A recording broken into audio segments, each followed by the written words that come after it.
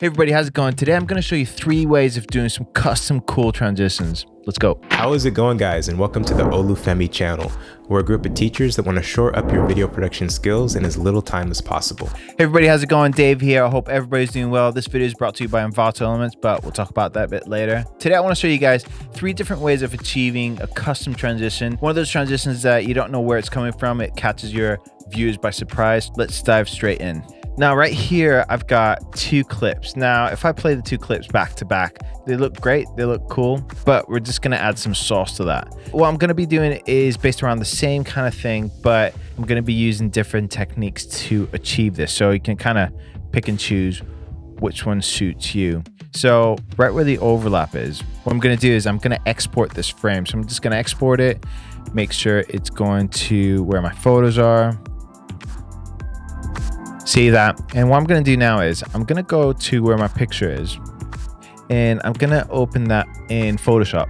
So as I'm looking at this photo, what I'm really looking at is shapes I can remove in order to make the transition onto the next clip. First I'm gonna do is I'm gonna come up here and use the object selection tool, select the object, and these three things are in the way. So I'm gonna press shift and then select those and I'm gonna right click and then select the mask. What I'm going to do here is I'm going to make sure this goes onto a new layer. And that's created a new layer.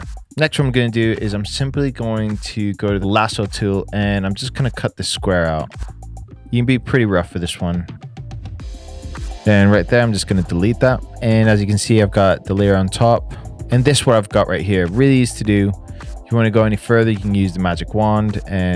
go around this and refine that. But it's going to be really quick transition, so I don't know how long you want to spend on that. So that looks really cool. I'm going to go up and export it as a PNG. And then I'm going to take that photo and pop it right there.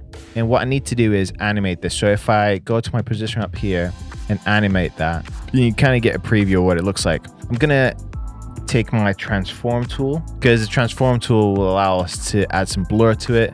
I'm going to come to this point right here, add some keyframes for position.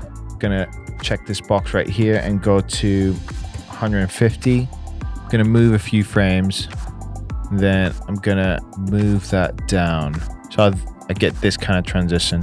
I'm gonna go a step further and to the first keyframe, I'm gonna add an ease out and then ease in just so I get a bit more of a natural movement there. And then when that moves, I'm gonna add a transform tool to the photo. And what I want this photo to do is zoom in and then out of frame. So we'll see how much Premiere allows us to zoom in on this. So right around there, that's disappeared. Gonna add a keyframe to the photo. So I'm gonna add a keyframe for position and scale, move along five frames and then zoom in. That's about right. After a certain point, you start getting an error because Premiere has a problem with when you like blow things up a bit too much. So right around there, that's fine. I'm just gonna cut that right there and then add a cross dissolve. And that's a bit static. I'm gonna add some blur to that. Ease out on the first keyframes, ease in on the second ones. And let's see what we've got. So that's pretty cool right there. It's one of those transitions you don't really expect. Just to sell it a bit more, what I'm gonna do is I'm gonna take this transition shake. It's a really short shake, but what it does is really sells the effect. These are transitions you can pick up from Envato Elements. They've got tons of stuff, motion graphics. I use them all the time, and they've been a lifesaver for some client work that I've been doing lately. So definitely check them out. You get your first month for $9. Check it out in the description. And this is what you get. It really sells the effect. Now, another way of achieving the same kind of thing, what I'm going to do is I'm going to just copy those two clips over by pressing option and dragging and I'll keep them overlapping. So this is what you've got. Now I'm to do the same exact thing, but this time around I am to mask it. Now the positive thing about this is it might take a bit of time, but what we'll do is it'll maintain some kind of movement. Whereas before you get a static photo and it really looks, I mean, the shake sells it, but you get a static photo and you can tell it's a photo. Nothing moves.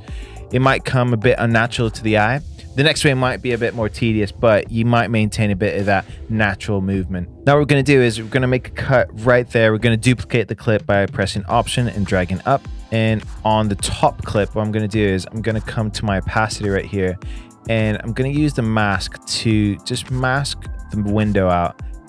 Try to be as detailed as you can.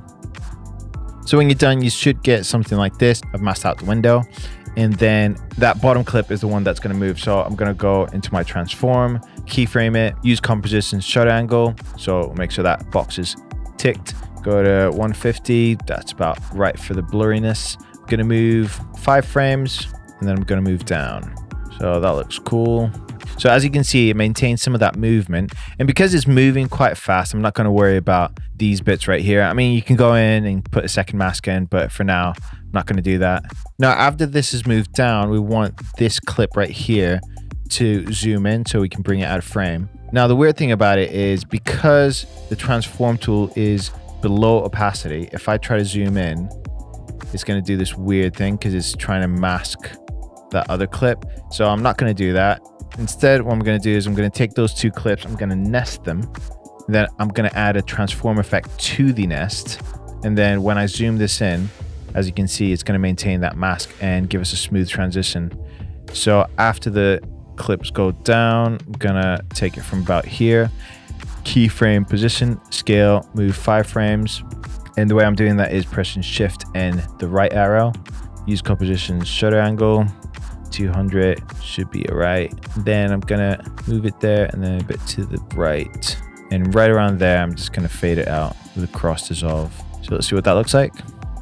Now it's a bit too static. What I need to do is come back here, make sure the first keyframes have ease out and then the second keyframes have ease in. Let's see what that looks like. The difference between the two transitions we've already done you can kind of see the difference between movement in between the transition. It depends on the style you're going for. I think both work really well. And then again, I'm going to take this shake right here. I'm going to option, drag it into place just to sell the effect a bit more. And after you add your shake and your blur, it's kind of a seamless transition unless you're pixel peeping and take it frame by frame. But yeah, that's a cool way of doing it. Now, let me show you the third way of doing this. I'm transitioning from this shot of this money and this clip right here. Both clips are stock video clips I picked up from Envato Elements. And what I'm going to do here is I'm going to want to transition from this $10 bill. I want this to kind of animate out and then into the next clip. Now, because it's moving, I don't want to mask it. So what I'm going to do is right around here, I'm going to chop that clip up, make a duplicate, and then I'm going to right click and then replace with After Effects composition. Yes, we are going into After Effects. Don't worry, this is going to be easy and shouldn't strain your computer too much because we're only editing like 10 or 15 frames, so it shouldn't be too bad. We got the money shot right here.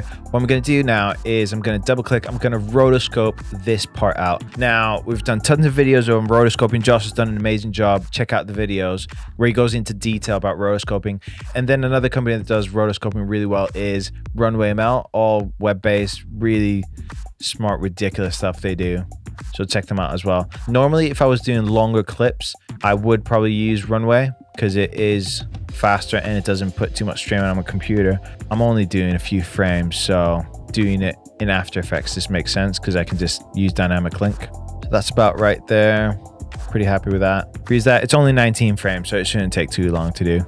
That's great. So it's isolated the money. Now what I'm going to do is because I want the money to come out of frame, I need to invert that selection. So I'm gonna go into FX control. I've got Herman to think about this. Instead of going up to FX and choosing your effect, just use FX control, select your layer, FX control, and I'm gonna go into invert alpha. And that's gonna invert that, ready for us to take that clip out. If I go into Premiere, that's all ready to go. This is why I love Dynamic Link. When it works, it works really well. I want this clip underneath to be the one that's moving. So if I just test it right here, if I move it, this is the kind of thing I get. Now, I do get a bit of a border here, but because of the blur and the motion, I can kind of get away with that. Let's add transform effect onto the bottom clip, keyframe, position, and scale. We'll see if we need scale.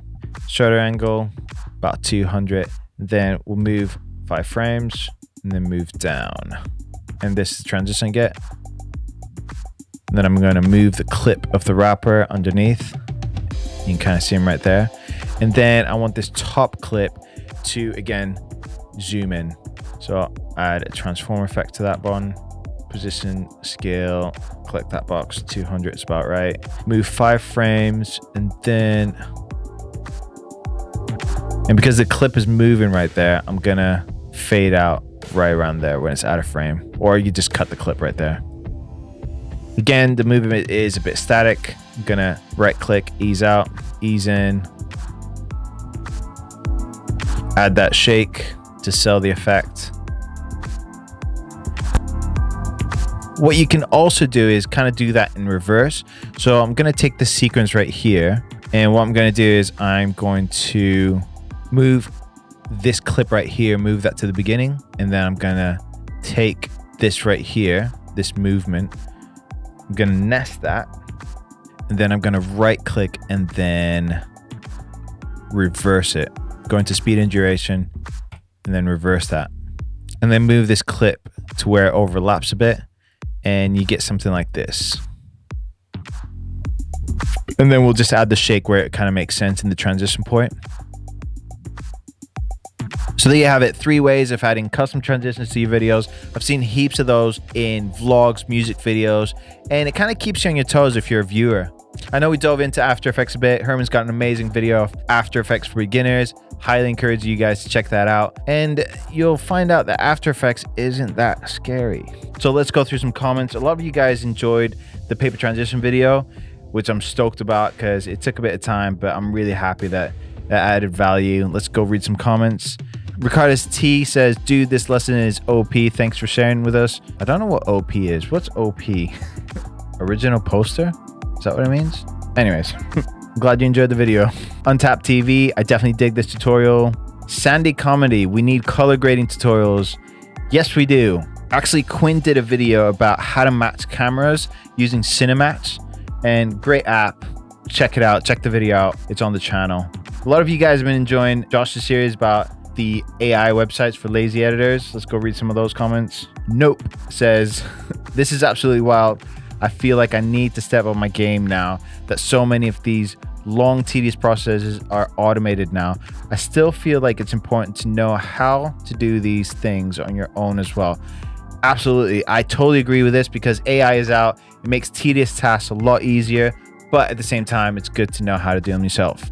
Thanks for watching the video, guys. Subscribe, like, that really helps the channel out. If you got any suggestions for future videos, drop them in the comments. Check out the Envato link in the description. It's $9 for your first month. Stupidly ridiculous deal. If you want to say hi to me personally, Dave the Greko is my IG handle on Instagram. Until next time, guys. Peace.